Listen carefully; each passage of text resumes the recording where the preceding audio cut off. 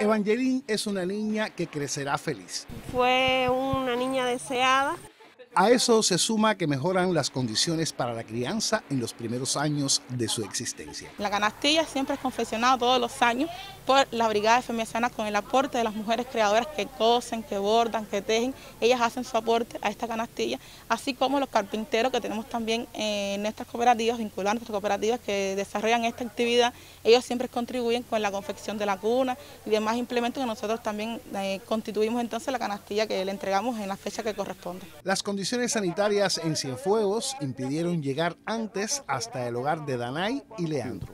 Todo el mundo extrañando no poder tocarla, abrazarla, porque no se puede, la situación no lo deja.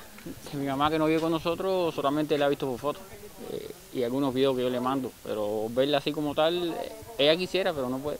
Porque la salud de nuestros pequeños es prioridad, los campesinos del municipio Cienfueguero de Palmira decidieron reconocer la labor que realiza el personal sanitario de la provincia en los doctores Moisés Santos Peña y Roberto Pérez García, ambos con destacada trayectoria científica y de trabajo en el sector.